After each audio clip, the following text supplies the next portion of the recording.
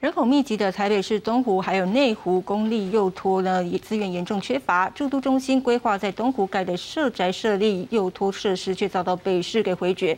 市长柯文哲是表示，中央要该托婴托幼都应该要并入北市原有的体系进行评估，不是想盖什么就盖什么。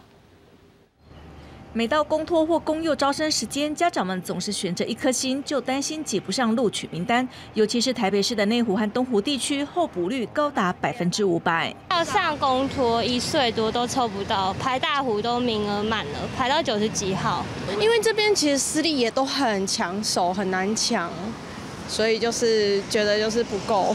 到底有多难抽？内湖及东湖除了人口高度密集之外，与新北市细致紧邻，跨区就读的情形多，压缩了当地公托公有资源。住都中心规划在东湖盖的社宅，预计下半年动工，并研议设立幼托设施，但被北市教育局回绝，引发市议员和家长质疑，在恶搞家长。因为托婴托幼托的居民活动中心，它它到底是要设哪一种？它应该要要并入我们原有的体系里面去评估，而不是他想盖什么就盖什么。这条我想。不可能说问了我们跟他说不要，应该说你要，应该说人要跟我们协调啊。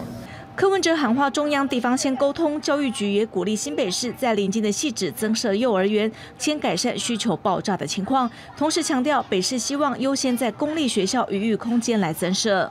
二十二处里面有五处是在内湖区，内湖区是目前十二个行政区里面参建比例最高的。未来会增加二十八班六百九十三人，并没有说不参建等于没有办法提供呃公共化的就读名额，这两个并不是等号。